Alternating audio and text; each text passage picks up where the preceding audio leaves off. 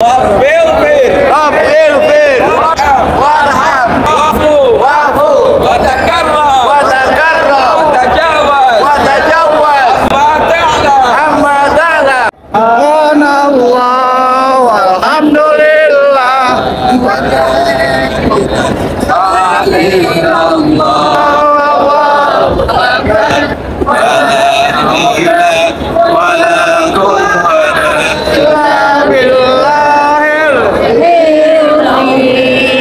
Assalamualaikum warahmatullahi wabarakatuh.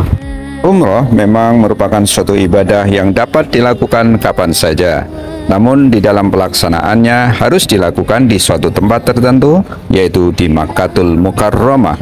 Kami yakin bagi sobatku yang ingin menunaikan umroh tentu penasaran ingin mengetahui bagaimana prosesi dari pelaksanaan ibadah umroh tersebut. Dengan menonton video ini, insya Allah akan memberikan jawaban rasa penasaran Anda. Maka silakan tonton video ini sampai selesai.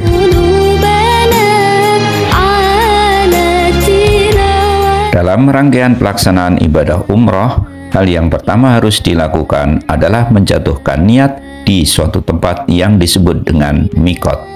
Adapun mikot orang yang berada di Madinah atau berdomisili di Madinah adalah di Bir Ali atau di Abyar Ali. kita akan menuju haramnya Allah yaitu kota Makkah Al-Mukarramah. Tempat penjatuhan niat untuk penduduk Madinah Al-Munawwarah ini adalah di Abdiyar Ali atau di Bir Ali atau Fikron Ali atau di Zulsulaimah. Ketika sampai di tempat mikot atau di Bir Ali, sebelum menjatuhkan niat, maka kita disunahkan untuk melaksanakan sholat sunnah dua rakaat di tempat mikot. Dalam hal ini adalah di Bir Ali. Ya ilahana.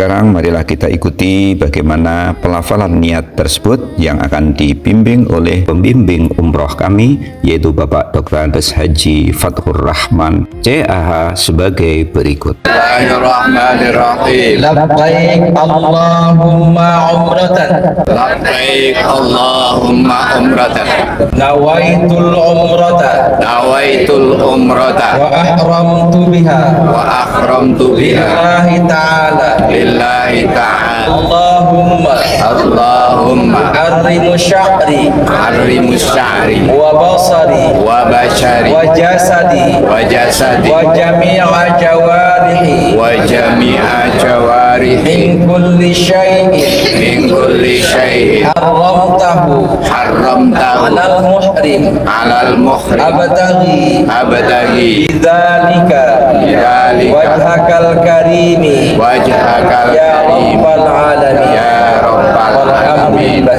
Walhamdulillah. Selanjutnya kita akan segera menuju ke Masjidil Haram dan di sepanjang perjalanan disunnahkan untuk membaca talbiyah. Bismillah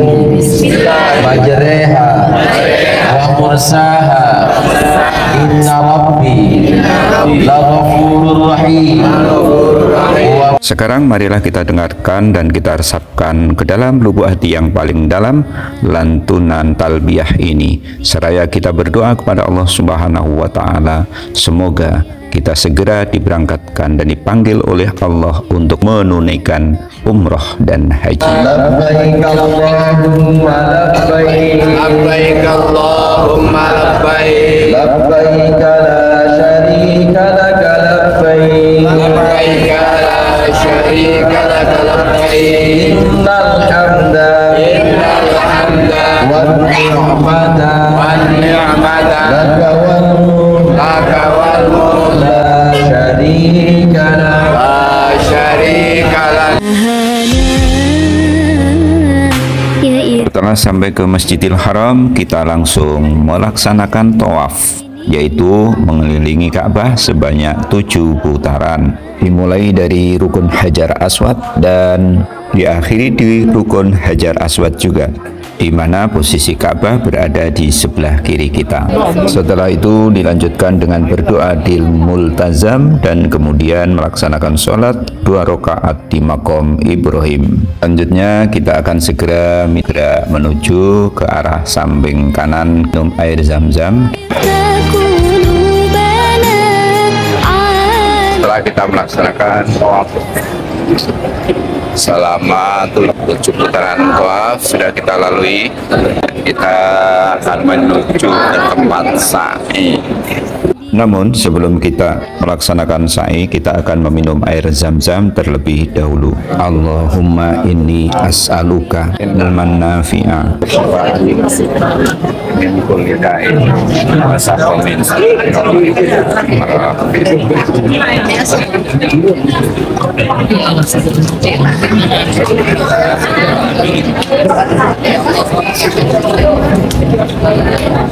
Selanjutnya marilah kita ikuti prosesi pelaksanaan sa'i yaitu lari-lari kecil dimulai dari Bukit Sofa ke Bukit Marwah pergi pulang sebanyak tujuh kali الصفا والمروة من شعائر الله Taman hajjal baita Awitamaru Fala gunaha alaihi Taman tatawu khairan Fa inna Allah Syakirun alim Wa a'udhu bika Min syarri.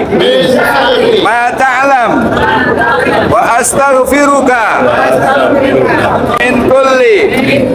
Ma ta'lam Ma ta'lam. innaka antal alamul ghuyub Allahumma ja'al fi qalbi nura wa fi lisani nura wa fi sam'i nura wa fi basari nura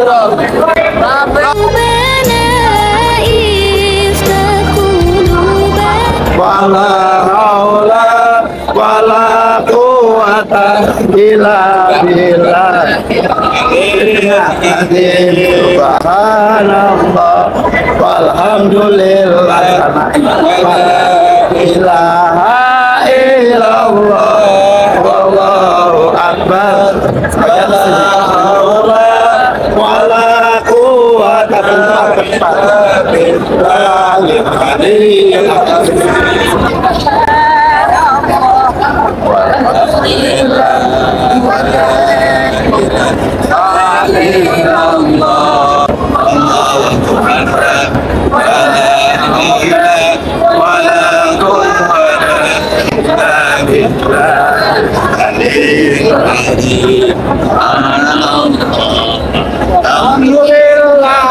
wala ilaha illallah Allahu akbar Allahu يا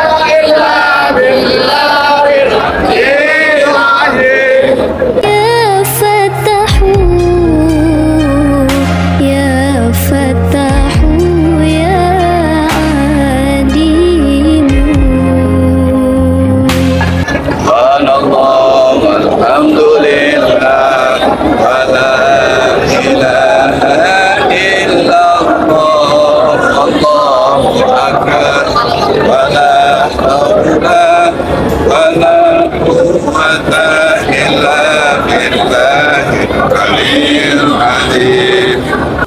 Setelah proses sa'i selesai, maka kemudian akan dilakukan tahallul, yaitu mencukur rambut sebagai tanda bahwasanya proses umroh telah selesai.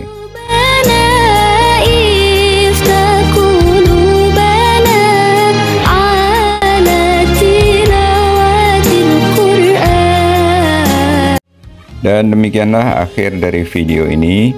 Semoga apa yang kami sajikan bermanfaat untuk sobatku sekalian.